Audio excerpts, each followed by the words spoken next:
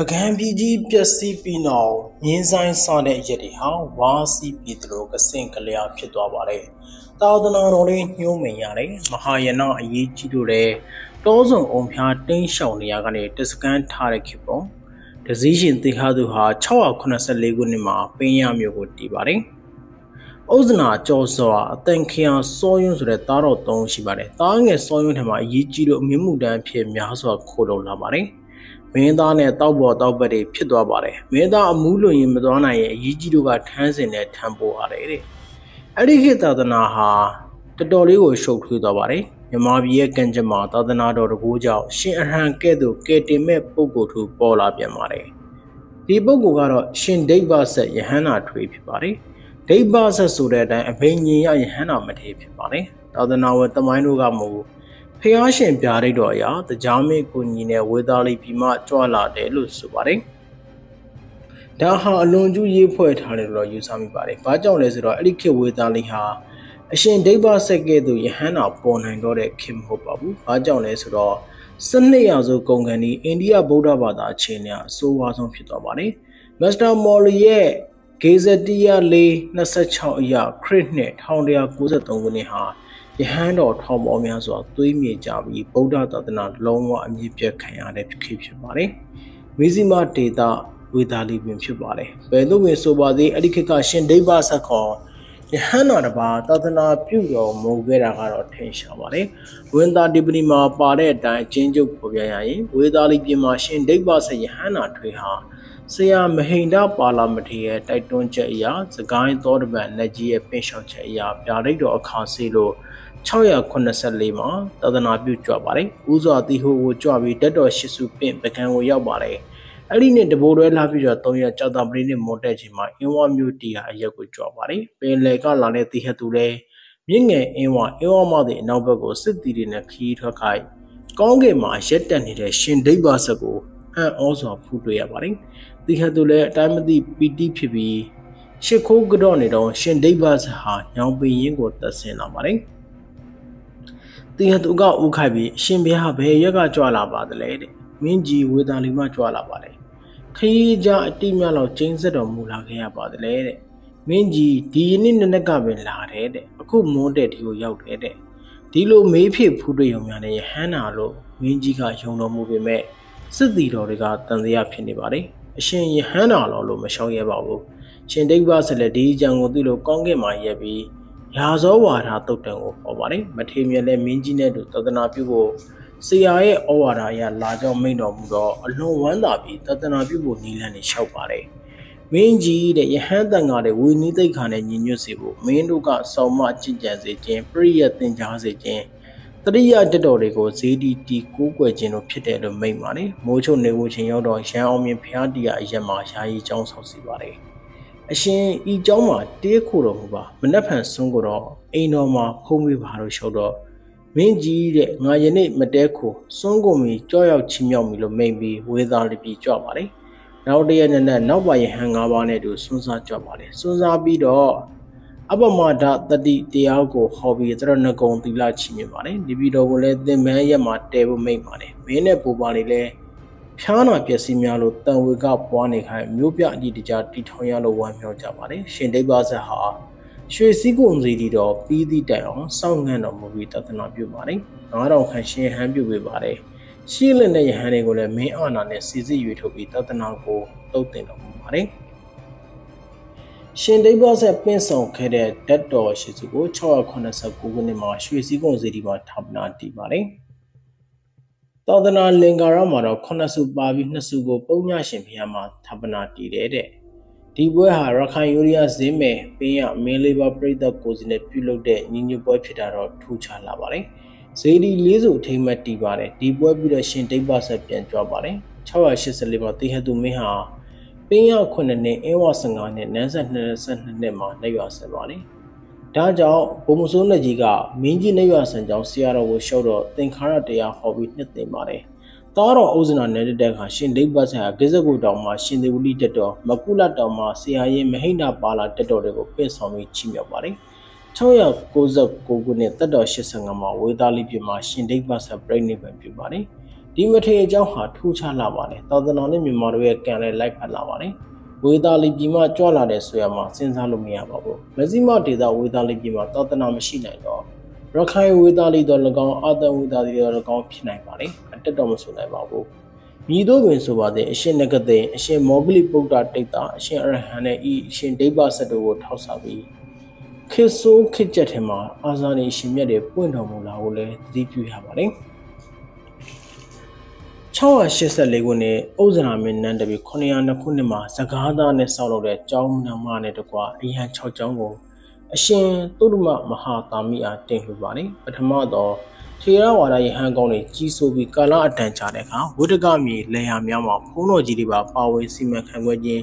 တည်င်းကနွားထုံဟာကစပြီးစီမံခြင်းစပားစုဆောင်ရခြင်းနောက်ဆုံးသီးစားကမပေးနိုင်သူတို့ကိုကြောင်းထဲမှာပဲထိုင်ရခြင်းထိထုံးခက်ကြီးထိရောက်လာပါတယ် မင်းကလည်းဝင်မစွတ်ဖတ်နိုင်ပါဘူးနောက်ကာလတွေမှာအလဇီမဒုတ်တီလာပန်းတိုင်းကိုရောက်ပြီးအကြီးကြီးတွေဖြစ်လာပါတယ်။ပေရသိတိလက်ဝဲပွဲဓာရီလှန်ရင်အင်းအိုင်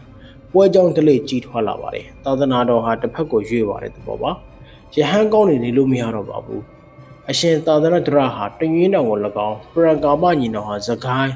အခုရှိတဲ့ပရကမကျောင်းကို၎င်းထွက်ခွာသွားပါတော့တယ်။ ပရိယတိယာမှာအလွန်ကြော်ကြားတဲ့အရှင်အရိယာဝန်သားလည်းဒီစကားကြောင့်မှပဲထွက်ပြီးတော့စကိုင်းတောင်ရုံမှာတည်င်းသုံးပါတယ်844မှာနန်းတက်တဲ့နယပတိမင်းကြီးလက်ထက်မှာဒီမင်းကောင်လက်ထက်ထိကြော်ကြားတဲ့မထေဖြစ်ပေမဲ့စကားတင်လို့ဤပင်းရခင်မှာထည့်သွင်းပြောဆိုခြင်းပါတယ်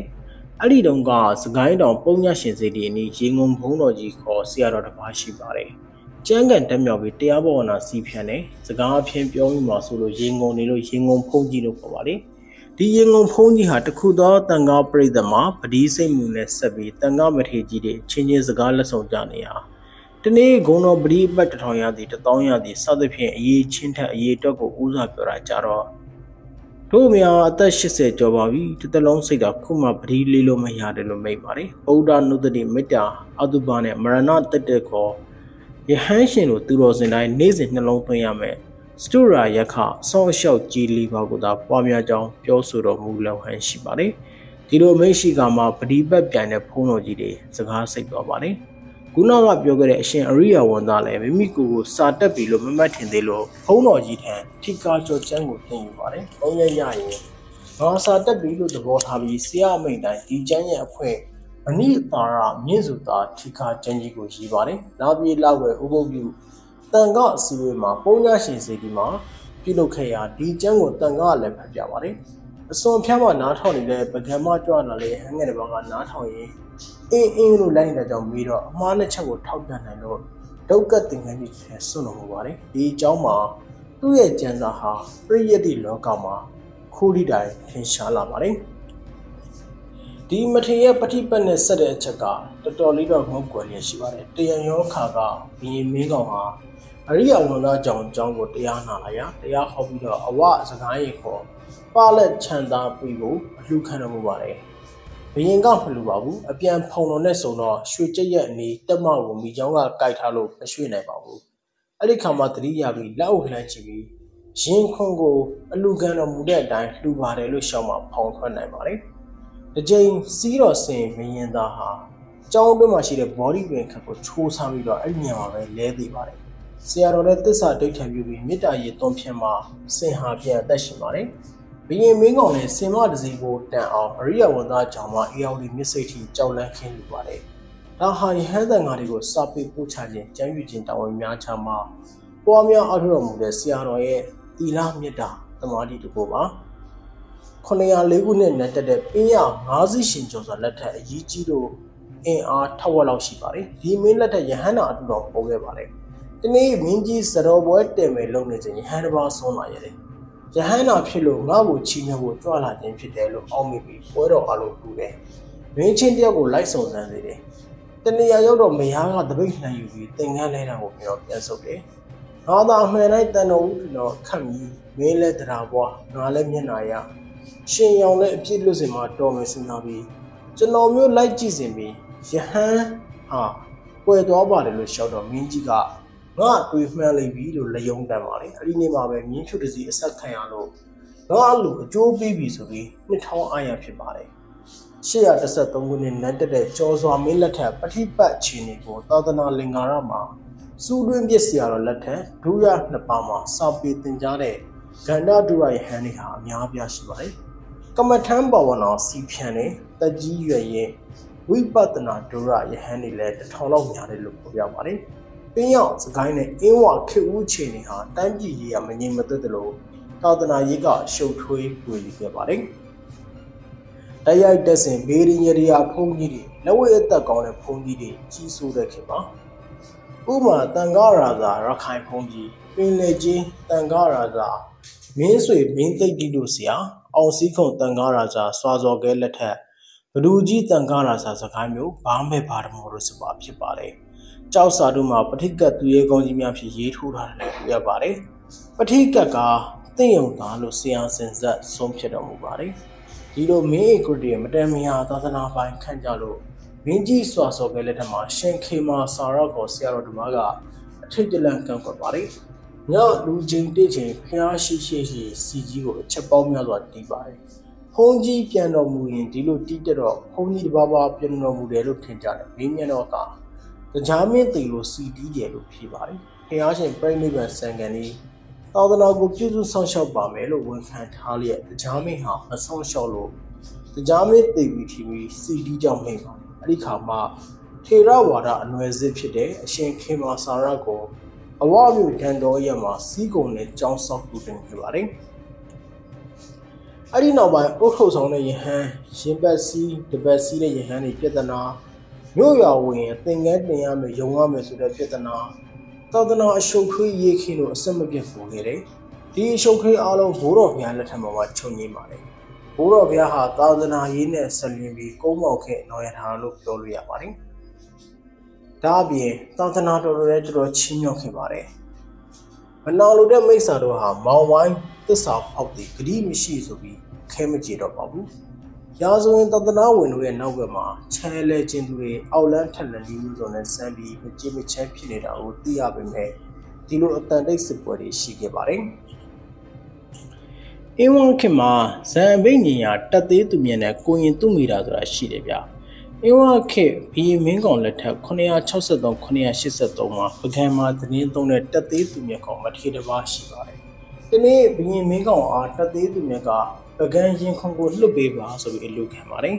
ဘီရင်မင်းကောင်ကဆရာတော်ကိုပြန်ပြောလိုက်ပါတယ်မိဖုရားရှင်ဘိုးမယ်ကိုပြောရအောင်မယ်တဲ့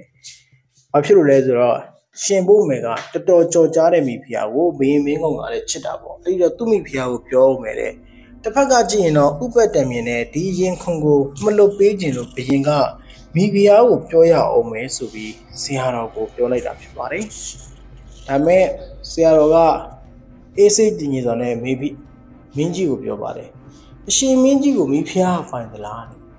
ဒီအကြောင်းကိုဘရင်ကလည်းမိဖုရားကိုပြန်ပြောတော့မိဖုရားဟာဒေါသထွက်သွားပြီး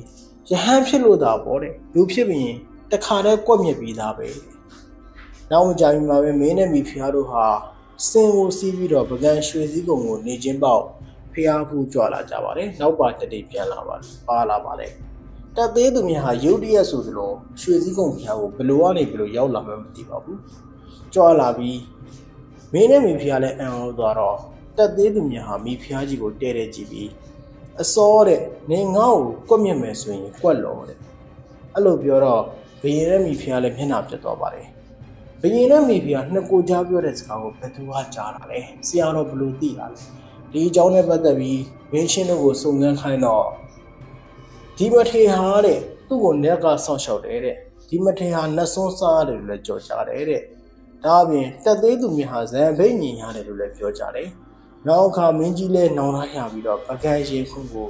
လှူတယ်လို့တွင်းသိမ်းရဆိုမှာဟောပြပါတယ်။ဒါအပြင်အင်းဝတာလုံးမင်းကြီးလက်ထက်မှာလည်းဇံဘိညာယာကိုရင်တုမိတာဆိုတာပေါ်ပူပါတယ်။အခန်းကြီးမျိုးမဟိန်လို့ခေါ်တဲ့ကျောင်းမှာတင်သုံးပါတယ်။ဇံဘိညာယာပြီးတကိုးဖန်ဆင်းနိုင်တယ်လို့နာမည်ကြီးပါတယ်။ဒီနေ့အဲ့ဒီကိုရင်ဆရာကကိုရင်တုမိတာငယ်စဉ်ကကစားမှုတဲ့ ဂုံကြီးတို့ကိုရှာစမ်းဆိုပြီးတွားရှာခိုင်းတော့နှစ်ရက်တွားရတဲ့အရက်မှာဆရာတော်ကတကိုးနဲ့နှုတ်ခါတာပါဒါပေမဲ့ကိုရင်သူ့မိတာကချက်ချင်းပဲတွားယူပြန်ခဲ့ပါတယ်နောက်ပိုင်းအဲ့ဒီကိုရင်သူ့မိတာဟာယဟန္တာကိုရင်ဆိုပြီးနာမည်ကြီးလာတာဖြစ်ပါတယ်ကြောက်စာလီမှာတော့ဒီကိုရင်ယဟန္တာဖြစ်ကိုရောက်တော်မူတဲ့ကိုရင်ကိုရှီတင်ပိကရတာမဏေလို့ဖော်ပြပါတယ်နောက်ထပ်ရှိပါသေးတယ် ရွှေဥမင်းနဲ့တောင်ဖီလာပုဂ္ဂိုလ်ကျော်ကြောင့်ပါတောင်ဖီလာဆရာတော်ဟာအင်းဝခေတာလုံးမင်းလက်ထက်မှာအလွန်ထင်ရှားတဲ့ဆရာတော်ပါ15နှစ်သားကလေးကဝေဒန္တရာပြုတ်ကိုရေးတဲ့တခြားကျမ်းတွေကိုလည်းအထင်ရှားပြုစုခဲ့တယ်။ဒါအပြင်တက္ကရာ6ခုနှစ်မှာစင်ဖြူရှင်မင်းလက်ထက်စကိုင်းပင်းရအင်းဝတို့မှာကြောက်ရောဂါဖြစ်လို့လူများပြသေးတယ်။မင်းကြီးကိုယ်တိုင်ရွှေစည်းကုံဖျားဖူပြီးစနီးနာတော့တောင်ဖီလာရှာမှတွေ့မိမြောက်လေလောင်မှချမ်းသာမိကြောက်ခဲကြီးကိုချီပါမိတဲ့အဲ့လိုနမိတ်ပြီးတော့ တောင်ဖီလာဆရာတော်ကိုစွန့်လို့ကြွေယောဂညင်းဖို့တောင်းပန်လျှောက်ထားပါတယ်အဲ့ဒီမှာပဲဆရာတော်ကစေးချမ်းကိုပြုစုခဲ့တဲ့ဘုန်းကြီးမဟုတ်ပေမဲ့လည်းဝီနီးတိတ်ခါဒေသနာတော်ဘောင်ထဲမှာလောကဒစရိယဖြည့်ကျင့်ခြင်းသာဖြစ်ပါတယ်ဆရာတော်ဟာငယ်စဉ်ကတည်းကသူမတူအောင်ထူးခြားတက်မြောက်လို့တာမဏိကျော်ပြည်ပစင်းကျော်လို့တွင်သူပါ မင်း60တန်အောင်မင်းဆရာဖြစ်ပါတယ်အင်းဝဇီတော်ရွှေကြောင်ဆရာတော်ဝန်စားသူလည်းဖြစ်ပါတယ်940ပြည့်နှစ်စလင်းစာတိဇီတော်ဆရာတော်လည်းဒီမြို့မှာပဲဖွားမြင်ပါတယ်စလင်းမြို့အရှိတာထွန်းဦးစီရီတီယာရဲ့မှာမွေးဖွားခဲ့ပေမဲ့ရှမ်းရီခင်းကြောင့်ကြီးကားတစ်ဆင့်တောင်ငူကိုရောက်ပြီးအရှင်ဓမ္မရာဇကိုယူထံမှာပညာသင်ပါတယ်ဒီမြို့မှာတာမဏိဘွားဖြစ်နေရပါတယ်ရှင်ပွဲမှာရှင်မုံလိန်တာခေါ်တာဖြစ်ပါတယ်ဟန်ပွဲမှာအရှင်ဥပါလိလို့ခေါ်ပါတယ်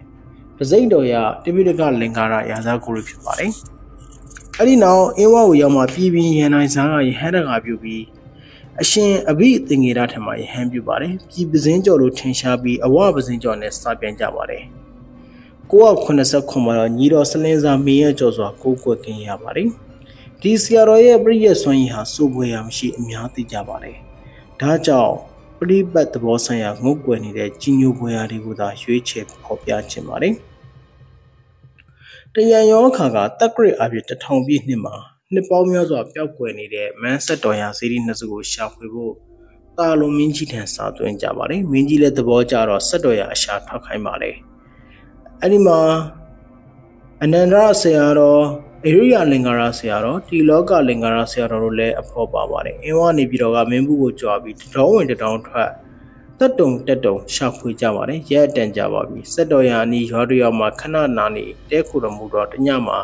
တောင်ဖီလာဆရာတော်အိမ်မက်မပါတယ်အိမ်မက်ထဲမှာလူတယောက်ဟာခွေးနဲ့ကြီးတကောင်နဲ့တူဆရာတော်စီလာပြီးရှင်ဖျားတို့လာကြတာအန်ရီကြီးလာပါတယ်တောနဲ့တာရတရဆန်ထူပြောလှပါတယ်ဘာကြောင့်ကြွချင်လာလဲလို့မေးပြီးရှေးမင်းတို့တွားရောက်ပူဇော်လေးရှိတဲ့စက်တော်ရနှစ်ဆူရှိကြောင်းစာဟောင်းပေဟောင်းတွေမှာရှိလို့ရှာဖွေရန်လာကြောင်းမိန်တော့ အဲ့ဒီတကဟာဒီလိုဆိုရင်ခွေးနဲ့ကြီးဝင်ရတောကိုလိုက်ရင်တွေ့ပါလိမ့်မယ်လို့ရှောက်ပါတယ်အိမ်မကြောင်ဖော်သုံးမပြောပါတယ်ဗာရဏသီပြည်သဒနာညှိုးနှွမ်းခြင်းမှာဝိသကြုံနဲ့တာကခွေးနဲ့ရောင်ဆောင်ပြီးညွှန်ပြတာကိုဆင်ကျင်တော်မူပြီးနောက်တနေ့နဲ့ဆက်ရှာပါတယ်အိမ်မက်မှာမြင်ရတဲ့အတိုင်းခွေးနဲ့တကောင်ဟာစက်တော်ရရှိတဲ့နေရာကိုရှေ့ရသွားတာတွေ့တော့နောက်ကလိုက်ပါတယ်စက်တော်ရနေရာမှာပျောက်သွားပါတယ်ဆရာတော်တော်လည်း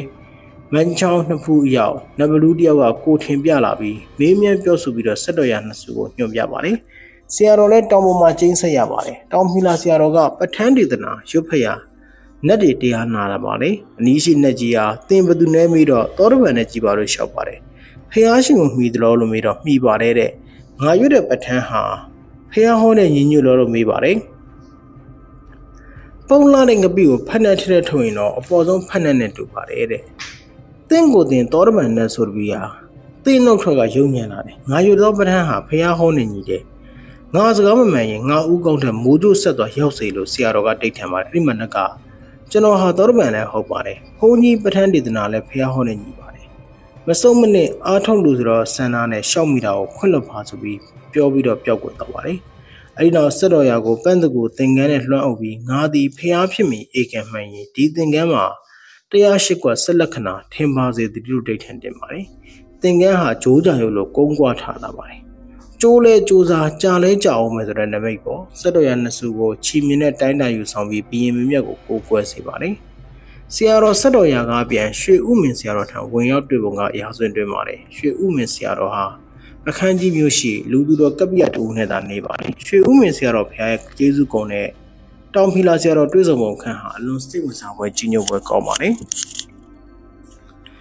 တာလိုမင်းဒီယာလက်ထက်အခန်း တာဂရဝကြဥမင်မှာသတင်းသုံးနေတဲ့ဇမှုတစအမည်ရှိတဲ့ဝင်းနီးငါးချမ်းပါဠိအထက်ကတာနေတရာစီရင်တဲ့ရွှေဥမင်းဆရာတော်ထံတာလုံးမင်းတရားဆရာတော်တောင်ဖီလာကျော်ဖះဟာကိုတော်နိုင်ကြွပြီးငါစီရင်တဲ့ဝင်းနီးနေတရာနဲ့သူစီရင်တဲ့ဝင်းနီးနေတရာတိုက်ဆိုင်မယ်လို့ဆိုပြီးလှူဖို့လက်ဆောင်အများနဲ့လာပါတယ်အဲ့ဒီမှာရွှေဥမင်းဆရာတော်လည်းအလုတ်ကျွေးသူတော်ဝတ်လူတစ်ပည့်တယောက်နဲ့သာ ခေါင်းပါတဲ့အတုံးဆောင်နဲ့ရှိတော့နေတော်မူပါတယ်ပရိသတ်နောက်ပါအများနဲ့မင်းဆရာတော်၆လတောက်ကိုဝတ်ပြုဖို့မရှိသုံးတော်မူတဲ့စမခံသေရတဲ့ခွင်းကိုခါပြီးနေရာထိုင်ခင်းပေးပါတယ်ပညာရှိဆရာတော်နှစ်ပါးနှစ်ဦးလုံးနှုတ်ခွန်းဆက်ဖက်လက်တကင်ပြုပါတယ်ပရိသတ်ချွေရနေတဲ့ကြောက်တော်မူလို့ဆိုပြီးမင်းဆရာမိန်တော်တော်ကို ကြောက်ရည်ပင်တောထဲမှာပြိတ်သက်အနေနဲ့နေပါတယ်လို့ရွှေဥမဆရာတော်ကစကားပြပါတယ်မင်းဆရာကအော်ငါဟာမကြောက်တတ်သူဖြစ်ခဲ့ပါလားလို့နှလုံးပိုက်ပါတယ်အဲ့တော့ပါရှိတဲ့လှူရန်လက်ဆောင်တွေကိုအသီးသီးမင်းဆရာတော်ကလက်နဲ့ကန်ပြီးသင်္ကန်းပါဗျာအရှင်မဟာကတ္တပကိုဖျားရှင်ကက်လို့တဲ့ဒုက္ကနှစ်ထပ်သင်္ကန်းလို့မုံမြတ်တဲ့မင်းရဲ့ဂရလှူလို့ရတဲ့ဝတ္ထုပါတန်တရားကိုချီးမြှင့်သဖြင့်သုံးဆော်တော်မူပါတော့လှူတော်လက်နဲ့ခံပြီး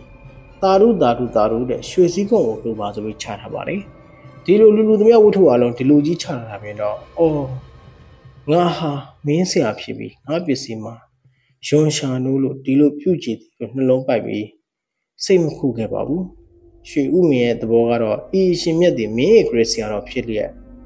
ကိုယ်တိုင်ငါ့ကိုလာပြီးပူဇော်တကအများနဲ့ပူဇော်သည်ငါဟာသူ့ကဲ့သို့ပူဇော်ရန်ဝတ္ထုမရှိသူ့ကိုမပူဇော်ရ ဒီအရှင်သူမြတ်ကိုဖြစ်စီပြိသက်ချွေရန်ကိုစွန့်တောနေခြင်းအကျိုးငါမြတ်သောစုံမကိုစကားနဲ့ပူဇော်ပြီးသူရည်ရွယ်ပြီးဆုတော်မူပါတယ်ပစ္စည်းမိုက်ယွန်ရှာသည်ကိုဆွဲ၍မဆိုတနည်းလေအလွန်ရာခဲလှစွာသောယဟန်သူတော်ဖြစ်ကိုရပါလေရဲ့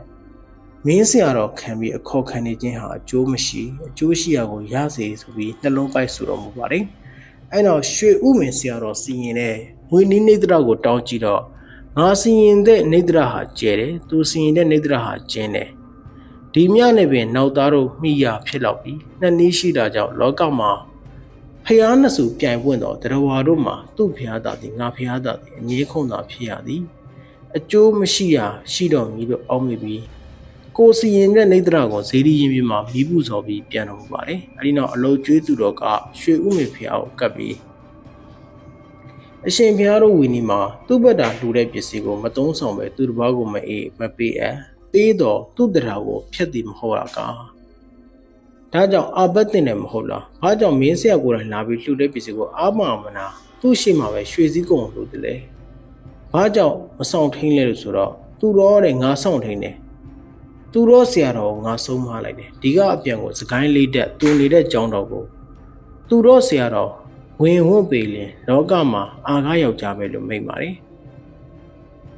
သာသနာဝင်ကျော်ဆရာတော်ဘုရားနှစ်ပါးဖက်လက်တကင်ပြောဆိုနှုတ်ဆက်ပြီးကျောင်းကဆင်ပြန်တဲ့အခါမှာရွှေဥမင်ဆရာတော်ကလိုက်ဖို့တော့တောင်းပြလာဆရာတော်ကကျွန်ုပ်ကမင်းဆရာဖြစ်ပေသည်ငါရှင်ရှေ့ကကြွပါဆိုပြီးနှိမ်ချဆိုပါတယ်မင်းဆရာဖြစ်လို့ရှေ့ကကြွတယ်လို့သူတို့ကထင်မှာဆိုလို့ချင်းမှာရွှေဥမင်ကလည်းငါရှင်ဟာမင်းဆရာပါတဲ့ရှေ့ကသာကြွပါလို့ရှောက်ပါတယ် ဒီလိုပုံကိုကြောင့်နှစ်ပါးရှောင်းတခင်ပြောဆိုတဲ့စကားဆင်ပြီးတသနာဝင်မှာနှုတ်မင်္ဂလာမှတ်တမ်းတစ်ခုဖြစ်ကျန်ရစ်ခဲ့ပါတယ်။တောင်ဖီလာဆရာတော်ဟာအဲ့ဒီကအပြန်ကာမဝါဒီရွာနေမင်းဆရာဖြစ်ကိုရှက်ရွံ့တော်မူလို့ဇီရောမင်းဝန်တောင်ရုံအရှိ6ကြာတောင်ဖီလာတောရမှာပဲခိုးဝင်တော်မူပါတယ်။တက်တော်60ပြည့်တဲ့တက်ကရစ်တထောင်ပြည့်နေတပေါင်းလာပြည့်နေပါညီတော်မင်းနှပါတဲ့ဆရာတော်ကိုအလင်ဖူးတွေ့ရသူចောင်းဆောင်မယ်လို့အပြန်ရှာတော့ တာလုံမင်းကြီးမင်းရဲ့ကြော်စော်ကတွေ့လို့လေးတက်စေတဝန်ရွှေချောင်းဆောက်လုပ်လိုပါတယ်ဆရာတော်ဟာ2003ခုနှစ်မှာဖျားတစုနဲ့တီထားပွဲပါတယ်တလလေးချိန်နက်တွေကဆရာတော်ကိုစွန်းလာကတ်တယ်လို့ဆိုပါတယ်